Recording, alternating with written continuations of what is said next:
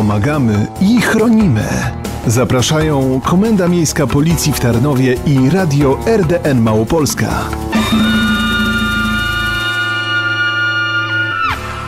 Poniedziałek, jak poniedziałek, ta audycja Pomagamy i Chronimy przed godziną 10. W studiu aspirant sztabowy Paweł Klimek, oficer prasowy Komendy Miejskiej Policji w Tarnowie. Dzień dobry panie Pawle. Dzień dobry panie Godorze, witam wszystkich słuchaczy Radia RD. Panie Pawle, my pomagamy i chronimy, czyli na temat bezpieczeństwa na naszych drogach my rozmawiamy w audycji, my w każdy poniedziałek przed godziną 10. I a propos tego bezpieczeństwa, no i powiem, że ten weekend i poniedziałek tragicznie nam się zaczyna na naszych drogach. Chciałbym, żeby było bezpiecznie, natomiast no niestety tego nie mogę w tej audycji powiedzieć, ponieważ mamy dwa wypadki i to niestety ze skutkiem śmiertelnym. E, zginęły dwie osoby na naszych drogach. Chciałem mówić o, o bezpiecznej drodze do szkoły, natomiast zaczęło się bardzo trudno. Zaczęło się wszystko w piątek w godzinach wieczornych. Tutaj 49-latek podróżując swoim samochodem Mercedes w Aupinach doprowadził do tego, że jego pojazd wypadł z drogi, uderzył w przydrożne drzewo. No i co w tym wszystkim jest najgorsze? Uciekł z miejsca zdarzenia, nie było go, pozostawił e, pasażerkę, 45-letnią mieszkankę powiatu bocheńskiego. Na miejscu oczywiście zostali skierowani ratownicy medyczni, ratownicy z OSP. Niestety, pomimo ich wysiłków, nie byli w stanie kobiety uratować. Kobieta zmarła. Policjanci, którzy przyjechali na miejsce, dość szybko ustalili, kto jest właścicielem pojazdu, i następnie bardzo szybko tego mężczyznę zatrzymali. Dlaczego uciekł z miejsca? No, wszystko wskazuje na to, że alkohol. Alkohol 1,37 mg na litr to jest o zgrozo niemalże 3 promile alkoholu. To bardzo dużo.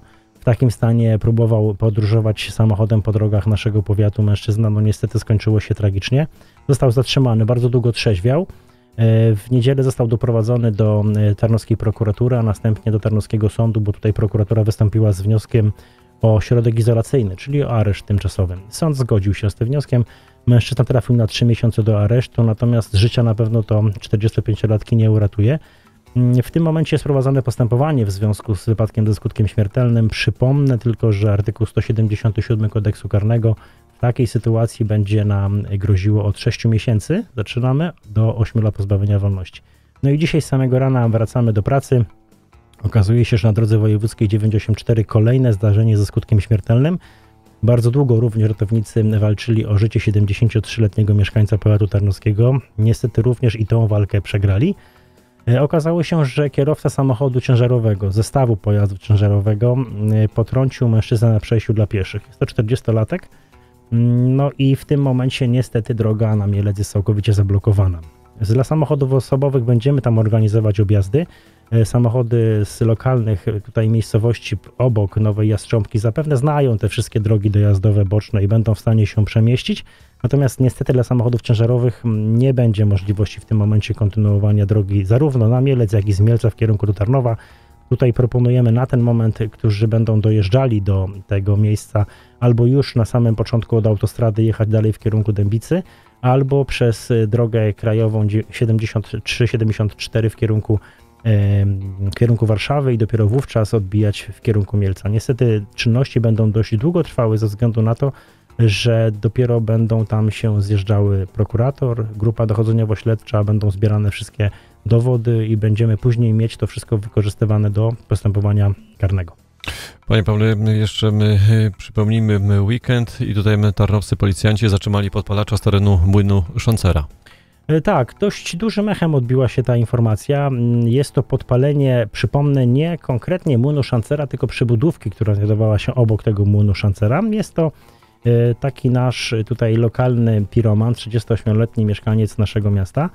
E, policjanci, tutaj muszę tak samo powiedzieć, że przy pomocy mieszkańców naszego miasta, tutaj mm, obserwacja, takie podpatrzenie, co właściwie się wokół tego wszystkiego dzieje, pozwoliło na to, że policjanci byli w stanie spersonalizować tę osobę, a następnie ją zatrzymać. E, okazało się, że e, mężczyzna przyznał się do zarzutów. Dodatkowo jeszcze policjanci udowodnili mu dwa inne podpalenia, ale zupełnie duże, mniejszej wagi. To są zdecydowanie jakieś tam wykroczenia. Chodziło o podpalenie jakiejś sterty drewna oraz jakiejś starej kanapy. To wszystko mężczyzna będzie odpowiadał. Natomiast odnośnie tego tego, tej przebudówki przy munie szancerza, Sanżara, tam jest strata około 1200 zł i również będzie musiał pewnie te straty pokryć dla, do właściciela. Teraz przejdźmy do bezpiecznej drogi do szkoły, ale zanim my to zrobimy, to statystyki, my drodzy radiosłuchacze. Liczba wypadków drogowych w wakacje 2024. Jak to wygląda? Jak podała Komenda Główna Policji, od 21 czerwca do 1 września włącznie na drogach w całej Polsce doszło do 5161 wypadków, w których zginęło 415 osób, a 6057 zostało rannych. To tylko wakacje. Tragiczne statystyki. Bardzo tragiczne statystyki. Ja bardziej się opierałem na statystykach y, z tej naszej mapy. Ze Bo myśmy w zeszłym tygodniu podawali Tarnów, region Tarnowski. Ze skutkiem śmiertelnym, tak, podawaliśmy wtedy. Wtedy na tej mapie wyświetliła się taka magiczna cyfra 375 wypadków ze skutkiem śmiertelnym. Ja generalnie cieszyłem się z tego, że jest taka liczba, ponieważ rok wcześniej było ich 401. E, tutaj pan redaktor podaje, że ponad 420 tych wypadków ze skutkiem śmiertelnym. 415 osób zginęło, 6057 zostało rannych. Bardzo dużo. Dramat, tragedia. To są tragedie e, wielu, wielu rodzin, wielu, wielu osób, bo mówimy o tym oczywiście, że osoby, które zginęły, e, to oczywiście dla nich jest trauma, ale osoby, które doprowadziły do tego zdarzenia, również przechodzą jakąś tam traumę. W regionie tarnowskim było tych zdarzeń tylko albo aż cztery. No jedno, które przytaczaliśmy, no to tutaj kierujący rowerem, który się przewrócił na drodze e, na drodze gminnej również zginął. No, mieliśmy również sytuację, gdzie osoby, które e, uczestniczyły w zdarzeniach drogowych, niestety w wyniku, w wyniku obrażeń, które powstały, pomimo tego, że zostali zabrani do szpitali, no niestety lekarze nie byli w stanie ich uratować. Są to na pewno ciężkie sytuacje i trudne dla, dla wszystkich nas. Ja chciałbym, aby te wakacje, albo każde następne wakacje przynosiły jak najmniej tych ofiar śmiertelnych. Chciałbym, żebyśmy podróżowali bezpiecznie. Chciałbym, chcę, żebyśmy zawsze dotarli do wybranego celu, a nie żeby nam ktoś w pewnym momencie zamykał tą naszą drogę i kończyło się mu to albo niedojechaniem do naszego celu, albo nie bez, be, brak takiego bezpiecznego powrotu do naszego domu. Ale czy to jest możliwe, czy to jest realne? No w tych wypadkach, w, tych, w tej naszej rzeczywistości chyba na ten moment jeszcze nie. Y, aspirant sztabowy Paweł Klimek, oficer prasowy Komendy Miejskiej Policji w Tarnowie. Audycja Pomagamy, chronimy, rozmawiamy na temat bezpieczeństwa. Panie Pawle, wakacje się skończyły, rok szkolny się rozpoczął. Bezpieczna droga do szkoły. Akcja trwa przez cały wrzesień. Policjanci pod szkołami, pod przedszkolami stoją, sprawdzają i pilnują tego bezpieczeństwa. Możemy powiedzieć już, jak ten tydzień wyglądał? Ten tydzień generalnie rozmawiałem z naczelnikiem Wydziału Ruchu Drogowego bardzo dobrze. Nie mieliśmy żadnych zdarzeń w rejonach placówek szkolnych, placówek wychowawczych i to jest na in. Y, tutaj y, w tej głównej części arterii naszego miasta przy ulicy Księdza Sicki stoi taki wielki baner, przypomina o tym, że rozpoczęła się szkoła, że w rejonach przejść, gdzie znajduje się Agatka, przypomnę, taki wielki żółty znak z taką dziewczynką z lizakiem, to jest właśnie Agatka, tam mogą się pojawiać dzieciaki. Jeżeli widzimy taki znak kierowco, zwolnij, uważaj, bo w pewnym momencie tam po prostu dzieciaki, a zwłaszcza ci najmłodsi, pierwszo, drugo, trzecioklasiści, oni jeszcze mogą żyć wakacjami, zapominają o pewnych rzeczach, my będziemy oczywiście o tym przypominać, ale ty kierowco e, doświadczony, który znasz przepisy ruchu drogowego, niejednokrotnie już widziałeś wiele, zatrzymaj się, zwolnij, przepuść, Pamiętaj, że wyprzedzanie w rejonie przejściu dla pieszych jest największym wykroczeniem, wręcz powiedziałbym nawet zbrodnią wykonywaną przez kierowców. Nie wyprzedzaj, nie omijaj, bo nie wiesz, co jest za zasłoną. Jak tam będzie właśnie szedł taki niewielki człowieczek mały, który ma ze 120 cm wzrostu, no to naprawdę go nie widać, a o tragedię naprawdę y, jest bardzo szybko i bardzo, bardzo trudno. Panie Pawle, bezpieczna droga do szkoły z mrówką, mrówką Tarnów, mrówka Zakliczyn, kolejne szkoły, kolejne placówki, którym y, tutaj szczególnie zwracamy uwagę. Mrówka to jest świetna akcja, świetna inicjatywa. Ona trwa od 2016 roku. Y, tutaj przedstawiciele Mrówki rozdają kamizelki odblaskowe, ale te kamizelki są dedykowane. Dedykowane są do najmłodszych pierwszoklasistów, którzy rozpoczynają e, swoją przygodę z ruchem drogowym, rozpoczynają swoją przygodę ze szkołą, rozpoczynają swoją przygodę ze wszystkim, co będzie dla nich nowe.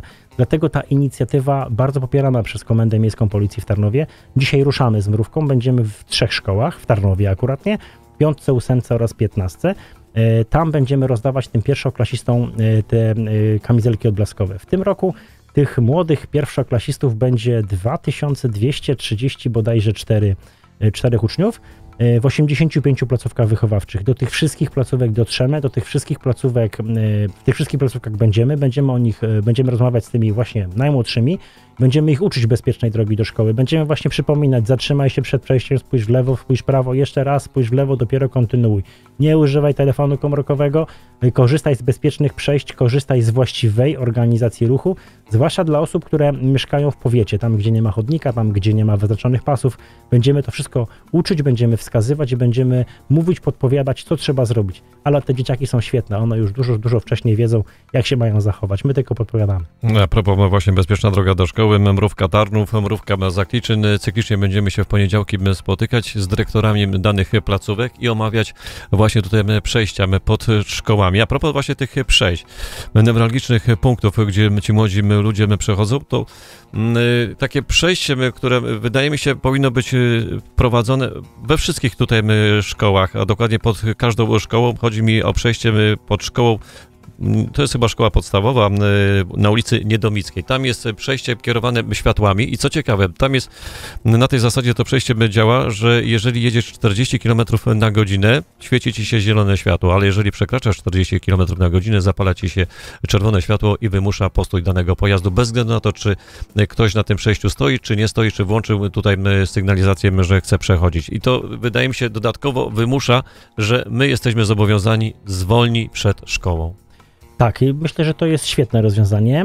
Natomiast jeżeli chodzi o dokładnie to konkretne przejście dla pieszych, Ci, co wiedzą, to doskonale sobie zdają z tego sprawę, że tą prędkość powinni osiągnąć taką, jaka jest na znaku i wtedy spokojnie, jeżeli nie ma na przejściu kogoś, kto by chciał przejść Może przejechać stronę, po prostu. Oczywiście będzie przejeżdżał. Osoby, które nie znają tego, tego skrzyżowania, tego przejścia dla pieszych, no jeżeli będą jechali szybko, to zdecydowanie to od razu się, bo to bardzo szybko się przełącza na światło na kolor czerwony i wymusza u nas zatrzymanie nawet na te parę sekund, tylko po to, żebyśmy zwolnili i zastanowili się, jesteśmy w rejonie placówki szkolnej, to jest dość e, specyficzne i niebezpieczne przejście dla pieszych, bo tutaj e, szkoła znajduje się, jeżeli będziemy jechać od strony Tarnowa po lewej stronie, ale większość uczniów będzie przechodziło właśnie z prawej strony po to, żeby dostać się do placówki szkolnej. Kierowco, ja po raz kolejny będę zwracał uwagę, nawet mówię nawet do siebie w tym momencie, tak, zwolnij, popatrz, zatrzymaj się, zwróć uwagę, zaczęło, zaczął się rok szkolny. Teraz jeszcze jest jasno, ale za chwileczkę będzie październik, listopad, zacznie się grudzień, zaczną się szarugi, zacznie się jakaś tam opad śniegu, deszczu, mrzawki, naprawdę będzie nas jako pieszych ciężko zobaczyć. Kamizelki, odblaski to jest podstawa. Panie Pawle, ale to jest takie bardzo dobre spowolnienie kierowcy, bo powiedzmy sobie szczerze, kto z nas jeździ 40 km na godzinę po mieście? No myślę, że pewnie nikt, albo bardzo mało osób. Ja nie widzę takiego kierowcy, który jeździ 40 na godzinę. Jeżeli są ograniczenia prędkości, znaczy ja tak, taki przykład tylko podam, dość kuriozalny, o tym jeszcze nie mówiłem, e, strefa zamieszkania. Tam jest y, ograniczenie prędkości do 20 km na godzinę, pewnie każdy z kierowców wie. E, taka Ale nikt nie stosuje, powiedzmy sobie e, no, szczerze. Mało kto stosuje. Natomiast y, co, do, czego, do czego zmierzam? Y, ulica Krakowska jest strefą zamieszkania powy, powyżej ulicy Malczewskiego. Tam praktycznie jedziemy cały czas 20 na godzinę, bo z każdej strony pieszy ma pierwszeństwo. Czy o stronę idąc z prawej, czy z lewej, jak jedziemy do góry, w każdej chwili może za zasłony do nas wyjść, więc ta prędkość naprawdę musi być 20. Do czego pije? Pije do tego, że zatrzymany został kierowca w tamtym tygodniu, który jechał 77 km. Na Krakowskiej? Na Krakowskiej u góry. Zostało odebrane mu prawo jazdy, bo przekroczył prędkość o 50 km więcej w obszarze zabudowanym, w miejscu, gdzie ona obowiązywała 20, on jechał 77. Szanowni Państwo, cóż tu więcej dodać? Y, proponuję, y, nie wiem, wrócić do lektury przepisów ruchu drogowego, zastanowić się, co oznacza niebieski, wielki, prostokątny znak, co oznaczają pewne sytuacje, kto ma pierwszeństwo, prędkość taka, no wręcz zabójcza. Ja sobie nie wyobrażam w ogóle 70 km na godzinę na krakowskiej, to trzeba w ogóle być bez wyobraźni. Y, dosłownie dwie minutki nam zostało, no, szybciutko a propos właśnie bezpiecznego poruszenia się do szkoły, to tylko jeszcze jeden temat y, zdążymy tutaj poruszyć. Często jest tak, że tych młodych ludzi rodzice przywożą, no i właśnie pytanie, w jakim wieku tutaj my, albo nie, to ten temat sobie zostawimy na, na później, to jak przyjeżdżamy samochodem z tym młodym człowiekiem, takie zasady podstawowe, zasadę wysiadania z samochodu. Pamiętajmy, że e, nie musimy podjechać pod samą placówkę szkoły, pod samą bramę szkoły, nie musimy ich wysadzić bezpośrednio, żeby tylko praktycznie weszły do klasy te nasze pociechy. Zatrzymajmy się w miejscu bezpiecznym. To jest podstawa i to jest klucz całego naszego zachowania, jeżeli przewozimy dzieciaki do szkoły. To samo jest z gimbusami czy wszystkimi autobusami, które poruszają się i przywożą nasze pociechy. Oni się muszą zatrzymać w miejscu wyznaczonym, przystankowym, gdy te dzieci bezpiecznie mogą z tego autobusu wyjść. Ty, rodzicu, jeżeli podwozisz dziecko do placówki szkolnej i ta placówka szkolna znajduje się przy jakiejś drodze gminnej, gdzieś, gdzie jest większy ruch, zatrzymaj się na parkingu. Nie wysadzaj go bezpośrednio przed bramą szkoły, bo to stwarza niebezpieczeństwo dla wszystkich innych kierujących. Ja wielokrotnie zauważyłem, że zatrzymujemy się przed pasami, Wysadzamy, jak jeszcze na prawą stronę, to powiedzmy jeszcze najmniejsze zło, ale wielokrotnie wysadzamy na lewą stronę, czyli na środek, na, na środek jeździ, na oś. Wtedy jest y, no, na- największy dramat. Otwieranie drzwi może spowodować, że z przeciwka będzie jechał inny samochód, zamknie, przyciśnie, dziecko wyskoczy, zatoczy się, potrąci. Po prostu ja takich sytuacji nawet sobie nie chcę wyobrażać. Zatrzymajmy się gdzieś w miejscu dozwolonym, na parkingu, odprowadźmy to dziecko, wyjdźmy te trzy minuty wcześniej, dajmy sobie czas z tym dzieckiem, żebyśmy mieli możliwość, a nie wypychajmy go szybko z samochodu, bo ja się spieszę do pracy. Nie, wyjdź trzy minuty wcześniej, naucz dziecko takiej odpowiedzialności, takiego właściwego zachowania i pokaż mu, jak się należy zachowywać. Ja teraz też przez weekend zauważyłem przejazd przez przejście dla pieszych. Wielokrotnie żeśmy o tym mówili. Widzę y, mężczyznę, który jedzie rowerem, wjeżdża na przejście dla pieszych, ma z tyłu na foteliku dziecko, które no jeszcze nie jeździ na rowerku, a za nim jedzie małe dziecko, które na rowerku już potrafi jechać. Zamiast ojciec zatrzymać się, zejść z tego rowerka, przeprowadzić i wskazać, zejdź, prowadź. Nie, jeden i drugi przejechał rowerem, no mówię, no po prostu kuriozum. To przejście dla pieszych to przejście, a nie przejazd, przypominam. Panie Pawle, wczoraj my, akurat miałem okazję jechać do Nowego Sącza, my, pusta droga, my, prosty odcinek jest z nim i a propos właśnie tego przejeżdżania my, tata z dzieckiem. Tata jak przejeżdża przez ulicę w niedozwolonym miejscu, a za nim 2 metry, 3 metry my, dziecko na małym rowerku. Ledwo ten rowerek, że tak powiem, ciągło prowadziło. Zamiast puścić dziecko pierwsze, potem tata, tata nawet nie zwraca uwagi, czy to dziecko za nim, w jakiej odległości. Ale dlaczego nie zatrzymać się i nie przeprowadzić, uczyć podstawy, uczyć podstawy. Dziecko chłonie od nas, od rodziców. Jeżeli my tego nie będziemy pokazywać, to skąd to dziecko ma się nauczyć? My jako policjanci będziemy przypominać, będziemy uczyć, będziemy podpowiadać, ale my nie wyuczymy pewnych nawyków. Pokażmy jako rodzice, jako dorośli odpowiedzialni, jak się należy zachować. Dlatego tutaj a propos tych podstaw y, proponuję wyuczyć taką podstawową zasadę holenderską metodę otwierania drzwi. Moi kochani, o tym y, przypominam i mówię i, i będę y, mówił i więcej na ten temat powiemy za tydzień, bo już nie mamy czasu. A jeżeli jesteście ciekawi, na czym polega holenderska metoda otwierania drzwi, to zachęcam do internetu, a my ten temat będziemy omawiali za tydzień i również za tydzień. na temat fotelików i autobusów szkolnych. My w audycji pomagamy i chronimy. Dziękuję serdecznie. Aspirant sztabowy Paweł Klimek, oficer prasowy Komendy Miejskiej Policji w Tarnowie był naszym gościem. Kłaniam się nisko, wszystkiego dobrego życzę.